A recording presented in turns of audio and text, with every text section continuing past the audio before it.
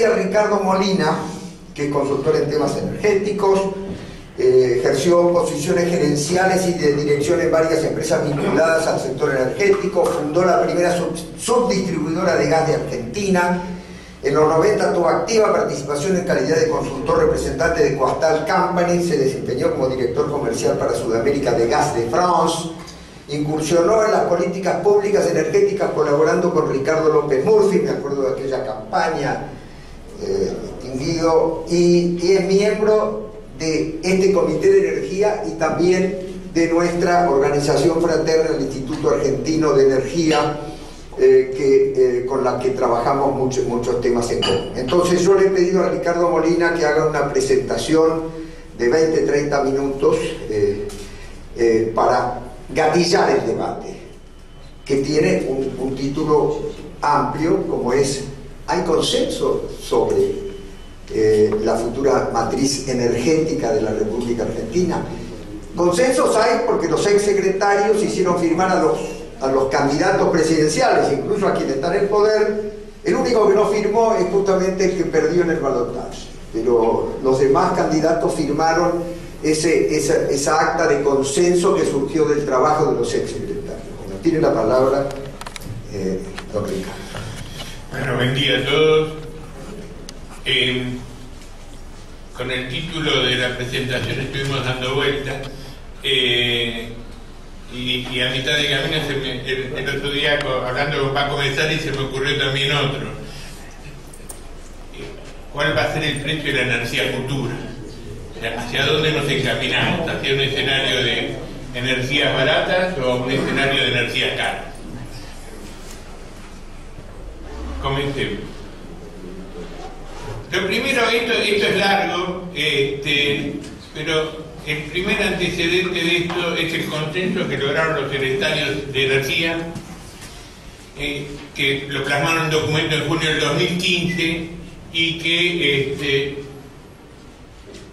pienso y me siento como parte de este consenso, este, porque dentro de, este comité de estudios todos estos temas fueron ampliamente debatidos y, estas son las ideas básicas que fuimos este, elaborando un poco entre todos y que los secretarios inteligentemente lo plasmaron en este documento que este, se llevó la firma a los candidatos presidenciales. y, por más que suene aburrido, me parece importante leer los, puntos más destacados. Decían los exsecretarios que sin un sistema energético seguro, confiable y competitivo no hay desarrollo económico y social. Esto lo pusieron a la cabeza del documento.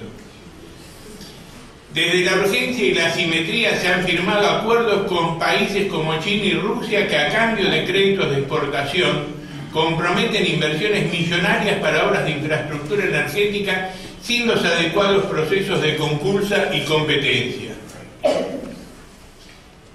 El Estado Nacional ha cumplido un rol inversor ineficiente y no genuino. Ineficiente porque ha reemplazado la inversión de las empresas con obras con costos altísimos y carentes de estudios técnicos y no genuino porque la financiación de esas inversiones se realiza con partidas presupuestarias de un presupuesto nacional deficitario financiado con emisión monetaria.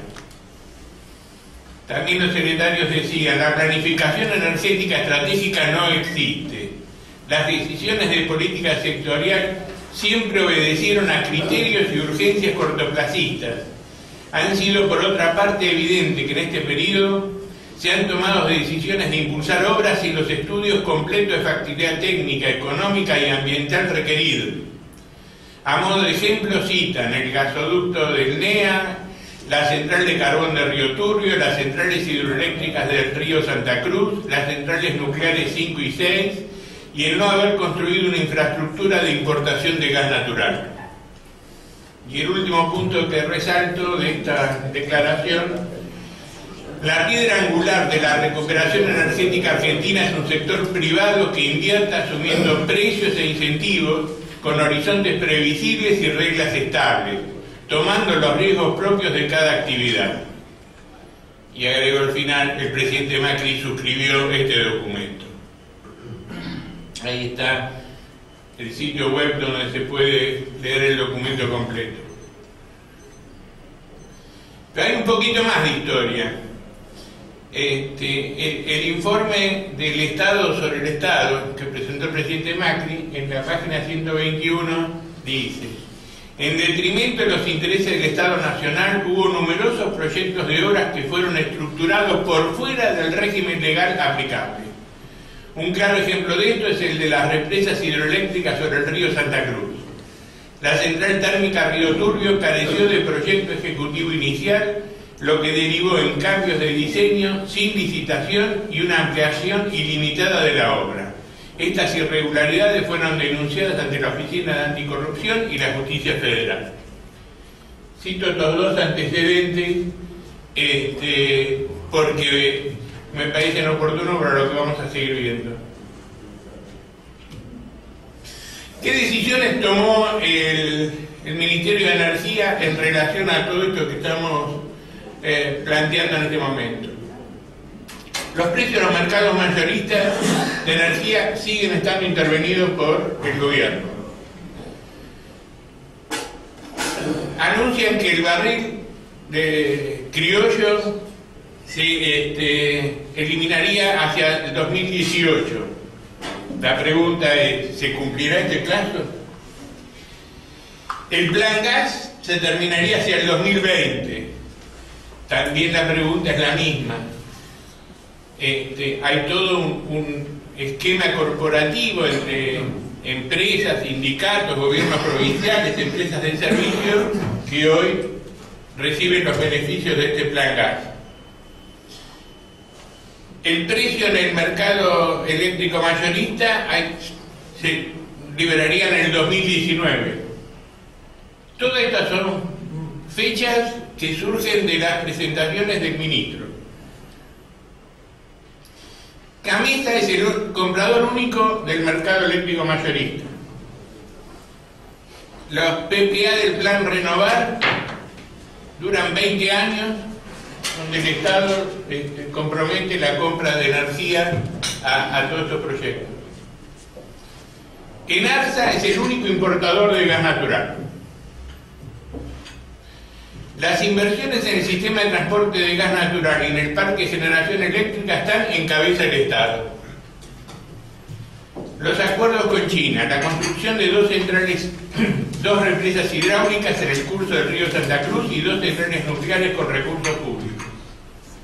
Lo que quiero plantear con esto es, acá se están comprometiendo recursos públicos a largo plazo y no tenemos este, idea en muchos casos de este, cuáles van a ser los precios, cómo va a funcionar económicamente estos proyectos, o sea que, este, pero sí ya nos estamos comprometiendo, desconociendo un montón de datos este, esenciales para pensar otra vez la matriz energética del futuro. El Ministerio de Energía presentó un trabajo que elaboró la Secretaría de Planeamiento Energético Estratégico en diciembre del 2016, una cosa bastante reciente, mostrando dos escenarios de, la energía para el 2025, un esquema tendencial, otro de más eficiente, prevé incorporaciones para uno de los modelos de 24 gigawatts de potencia hacia el 2025 y el otro de 17. Lo interesante es que en, amarillo está la potencia nuclear, lo que prevé el gobierno es que hacia el 2025 la única incorporación son de 800 megas, o sea, una de las dos centrales este, que están pactando con este, los chinos. Al momento de elaborarse esto, evidentemente eso no estaba previsto y esto ocurrió hace unos meses. Los acuerdos con China proponen incorporar dos centrales hidroeléctricas con una potencia de 1.290 gigawatts. Antes el proyecto era de 1.740, el gobierno ha reducido, creo que eran tres turbinas, y este, con esto se bajó la potencia de estas dos centrales. Y dos centrales nucleares con una potencia total de 1895 gigawatts. insisto, si uno mira con respecto a lo planificado, tenemos 1000 gigas arriba en, nuclear y más de 1000 abajo en hidroeléctrica. Este, sí. ¿Cómo? ¿Eh? Ah, perdón, sí, está bien. Esto que voy a mostrar ahora varios de los miembros de este comité tuvimos la ocasión de, verlo en la presentación que hizo una firma finlandesa llamada Varsila, que produce motores de generación eléctrica, y eh, mostraron cómo el mundo está integrando las energías de base con las energías renovables. Las energías renovables son naturalmente intermitentes, todavía no se ha encontrado la manera de económicamente de, aplanar los swings de, la generación este, de renovables. Entonces, la tesis que esta gente ha desarrollado y presentó fue las energías de base tienen que acompañar estos swings para poder eh, optimizar la ecuación económica, porque las energías renovables, como todos hemos visto y sabemos, digamos, los precios están cayendo permanentemente con el avance tecnológico. Entonces, para poder capturar esa energía barata dentro de un sistema integrado, lo que hace falta es que la energía de base no sea rígida, sino que acompañe eso para privilegiar el tema de las renovables. Esta fue la tesis que presentó Barcila. Acá hay un caso en Colorado este, donde perfectamente se integra con la línea de las curvas celestes la, energía de base con las amarillas de la generación eólica y entonces ahí se optimiza la, ecuación económica. La verdad fue una presentación muy interesante y muy desafiante, digamos. Y, y, como parte de esa presentación mostraban que las energías de base tradicionales están sufriendo, sufriendo económicamente, o sea, las compañías están entrando Ahí abajo vemos algunos anuncios de eh, compañías que entran en, situaciones de quiebra porque este, las energías de base rígidas empiezan a, no poder intervenir en el mercado. ¿Y cuáles son las que primero dice Barcila que van a sufrir? Los primeros son los ciclos combinados con turbinas de gas, las centrales de carbón, las centrales nucleares, y las hidroeléctricas de paso. Y justamente son los proyectos que estamos pactando con este, los chinos, o sea, las hidroeléctricas de Santa Cruz son de paso, las centrales nucleares, eh, tenemos el tema de la usina de carbón, que creo que seguirá, pero bueno, la de Río Turbio, y ahora hay una licitación en proceso para cerrar ciclos combinados de, turbinas de gas este, y, cogeneración.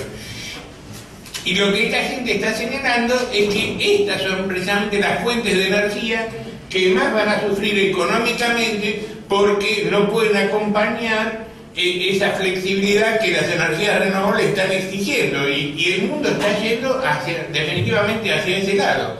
Con lo cual, este tema es central en el diseño de la matriz energética del futuro, es decir, para qué tipo de energía, de qué costo vamos a estar este, tratando de perseguir y de alentar en términos de inversiones. Y también las energías renovables, si no se manejan bien, también están sufriendo. Hay, dos casos de, sistemas que no, están siendo sustentables, que son el de España y el del Uruguay, donde este, la interferencia del Estado por tratar de impulsar determinados tipos de energía y crear incentivos muy poderosos, ha sobre ofertado, digamos, los mercados con estas energías renovables y ahora resulta que son un problema. O sea, eh, eh, parece una contradicción, pero resulta que ahora el parque eólico uruguayo este, representa un problema, lo que hasta hace poquito se veía como una, gran solución. Lo mismo pasó con España con las células este, fotovoltaicas. Así que en un lado y en el otro es un tema que hay que mirarlo con mucho cuidado porque tenemos ya experiencias concretas de, errores que se están cometiendo y que tienen efectos económicos muy importantes. Las consecuencias. La intervención estatal en los mercados mayoristas energéticos está debilitando la atracción de inversiones genuinas al sector. Esto está ya recontraprobado. Este, todavía eh, no, se han podido generar los estímulos necesarios para que los inversores vean eh, las verdaderas posibilidades que el mercado energético argentino está ofreciendo. El presidente IPF acaba de declarar que habla con los inversionistas y le dijeron venga el año que viene. O sea, este, por ahora no. Segundo, en nombre del gradualismo, se está alterando los marcos regulatorios y condicionando un modelo que compromete recursos públicos a largo plazo. Esto, este, lamentablemente, eh, pensábamos todos que esta administración iba a, a, restablecer la plena vigencia de los marcos regulatorios y las reglas de juego que el mercado tenía, con ayudando, subsidiando a, los mercados minoristas para temperar los efectos de, del reacondicionamiento tarifario, pero este, no alterándolos de la manera que están alterados hoy en día y que obviamente al tener marcos regulatorios que no funcionan, marcos regulatorios teóricos y otros de la realidad, también están afectando el problema de las inversiones y sobre todo a este, el déficit fiscal que la Argentina sigue acumulando. El propio gobierno está alterando este, con estos acuerdos los recientes modelos de planificación energética, o sea, lo que pensaba hasta hace poco, hoy los hechos políticos lo están superando y están yendo hacia otro camino. Esto es una frase dura, pero la verdad es que los acuerdos internacionales estos con los chinos están teniendo una gran opacidad. Hablan de construir centrales, nadie sabe realmente a qué precio, de qué forma, o sea, y, ya el compromiso está, porque aparte este, el argumento de este gobierno para defender los acuerdos es la continuidad jurídica del Estado que firmó el otro gobierno, así que este, eh, esto es... Eh, este, espectrio, digamos, los acuerdos, aunque no conocemos las condiciones económicas en las cuales se va a desenvolver y que, bueno, insistir, nos están condicionando al futuro en un sentido distinto al que marcha el mundo. El mundo marcha hacia un determinado escenario energético y nosotros estamos yendo hacia otro escenario, que evidentemente resulta mucho más caro que el que está yendo el mundo. Por último, la creciente importancia de energías renovables está modificando, esto es lo que le decía, la matriz energética del mundo e irrumpiendo con nuevas tecnologías.